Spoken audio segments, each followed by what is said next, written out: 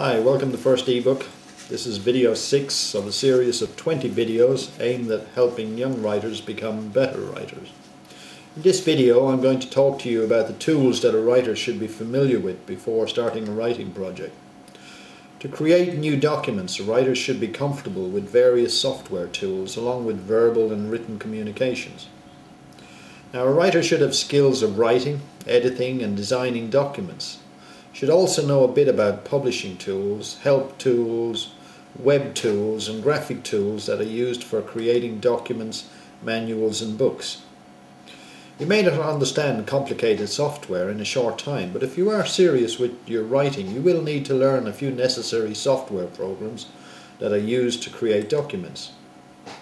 Now word processing tools are the basic tools of the industry. These tools are used for processing words and performing different actions or tasks with words, in short called formatting the document.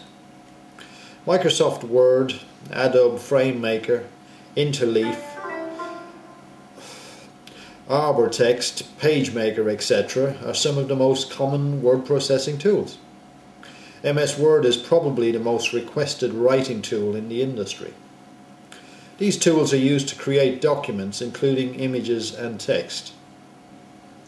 Word processors are different from desktop publishing tools, image capturing tools and image editing tools. Now those tools you need separate to a word processing tool.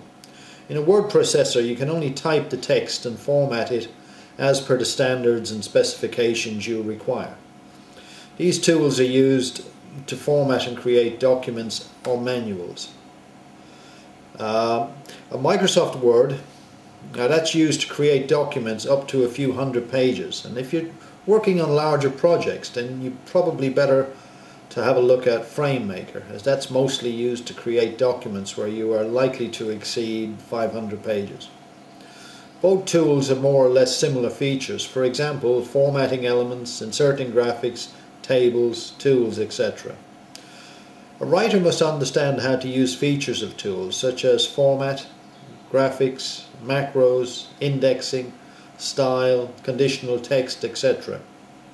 PageMaker is generally used for small documentation projects, but it has more features of graphics and layout than word processors. An image capturing tool is another useful piece of software, and that's used to capture images or to take the photo or basically take the photo of whatever is on the image on your screen.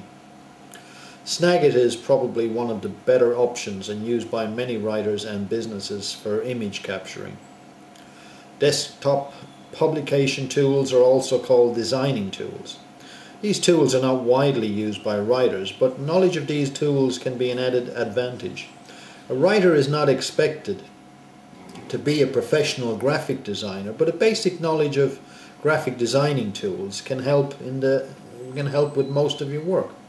Adobe InDesign, QuarkXPress, PageMaker, etc. These tools are mainly recognized as desktop publication applications.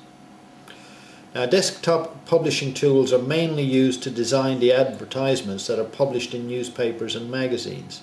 These tools are different than word processors. You can compare documents or you can prepare documents with the help of designing applications, but these tools are more comfortable to design an ad.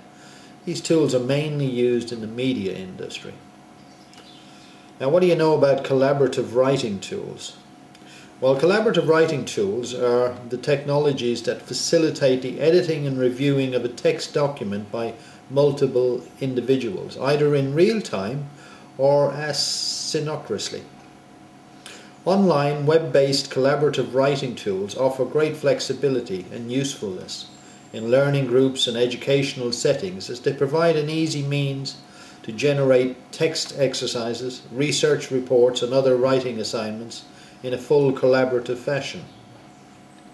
Collaborative writing tools can vary a great deal and can range from the simplicity of a wiki system to more advanced systems. Basic features include the typical formatting and editing facilities of a standard word processor, with the addition of live chat, live markup and annotation, co-editing, version tracking and more. Google itself has recently entered this field with its Google Docs, a fully web-based collaborative writing tool, formerly known as Writely. Document, documents generated with such tools are always accessible to all the editors and can be easily downloaded and exported in standard word processing file formats. When it comes to plagiarism prevention, this is another area we need to look at. Keep in mind that not all plagiarism is intentional. With many article types such as product reviews, travel articles, etc., content can be repeated due to a manufacturer's language for an item or because a location is often described using the same words. Considering the volume of pure information online, sometimes a completely ethical writer can accidentally plagiarize. Regardless of how original you know your work to be, it is always advisable to check before submitting work to a client, if that's what your profession is. Now, Dustball is another of the best freelance writing tools available. Dustball will pitch your newly created original article against all content available online with a high accuracy rate. May not have sharp accuracy of other plagiarism detectors, but it will detect blatant or even accidental excessive copying. However, Dustball does offer a more accurate check rate for a fixed fee per month. Copyscape, now that's another baby, that claims a highly accurate rate of plagiarism detection. There is no charge to compare a newly created URL to another to ensure no plagiarism has occurred. However, the most important feature, which is the ability to check offline articles against online content, is not free. The good news is that Copyscape is a minimal investment that is well worth it to any freelancer who wants to maintain a credible and respectable reputation. That's it for now. You can find more videos on creative writing at firstebook.co.